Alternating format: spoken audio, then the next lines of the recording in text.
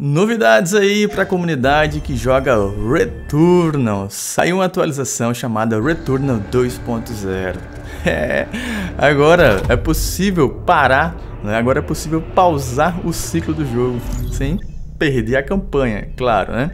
Antes né? Quando você desligava o console e saía do jogo, você perdia toda a campanha, cara. Agora é possível sim, simplesmente pausar ali o jogo, né? suspender o ciclo, sair do jogo, desligar o console e depois você volta para aquele mesmo ponto, certo? É interessante lembrar que essa possibilidade é única. Depois de você voltar para aquele ponto, ele automaticamente é excluído. Claro que lá na frente você pode fazer o mesmo processo, salvar novamente mas tem alguns limites. Né? Você não pode fazer isso em batalhas frenéticas contra chefões ou em algumas situações de vídeo de primeira pessoa. Mas já é uma grande evolução. Um outro ponto que trouxe pra gente é o modo foto.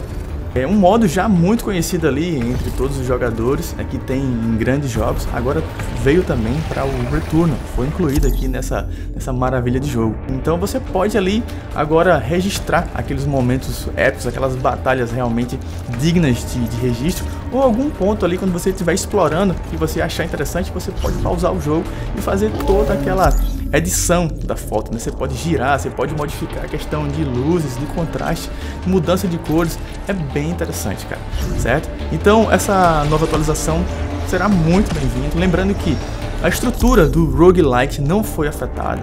Aquela diversão que você estava procurando, aquele desafio que você estava procurando no roguelike não foi afetado. Há agora só a possibilidade de você poder pausar para dar uma descansada, porque a batalha realmente é muito frenética. Valeu, galerinha. Chama nos comentários. Tamo junto.